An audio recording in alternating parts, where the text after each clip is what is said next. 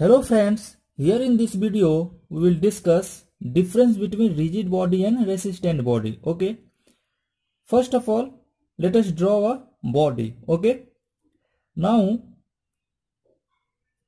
there are so many forces acting on the body. Okay. This is compressive force and this is tensile force. Okay. Tensile force and compressive force are acting on the body okay? And let us consider two point inside the body point a and point b okay?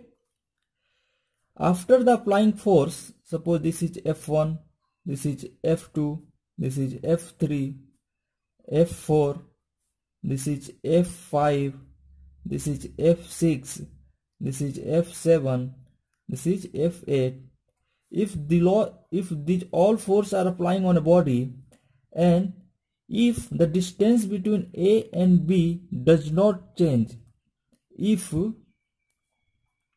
the distance between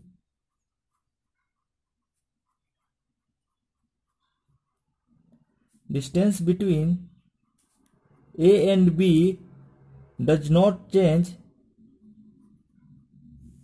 does not change.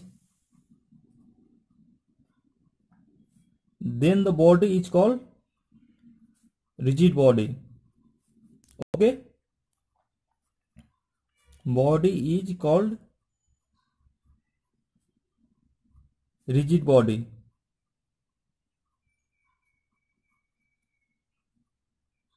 Okay if the distance between A and B does not change after applying the force on the body, then the body is called rigid body. And if the for if the distance between A and B changed on applying the force, then it is not a rigid body. Okay, this about the rigid body, and now we will discuss about resistant body. Okay, so here I have drawn a di diagram. This is pulley. Okay this is pulley and this is belt. Okay. Normally the belt is non-rigid body. Okay. Normally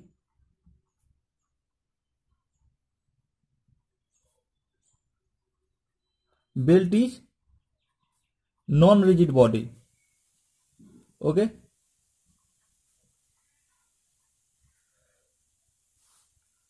But when you apply tensile force on the belt. When you apply tensile force on the belt tensile force T on the belt then the belt become rigid body. Okay?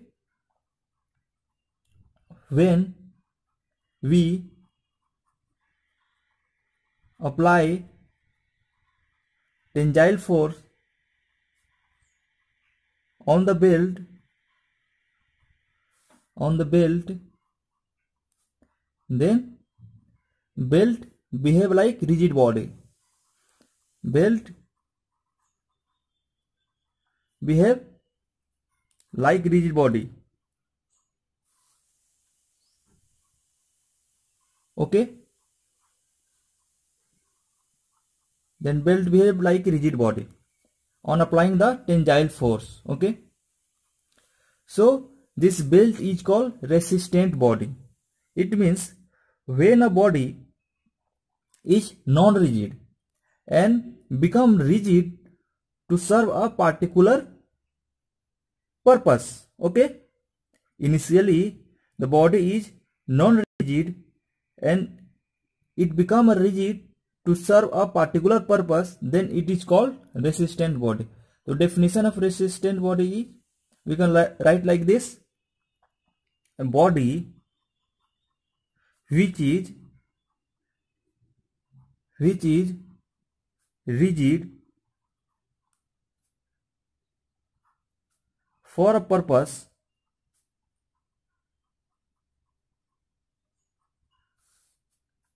they have to serve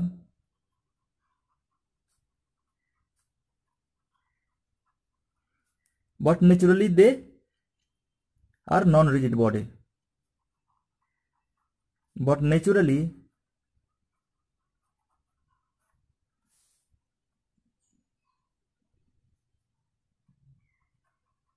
they are non-rigid body.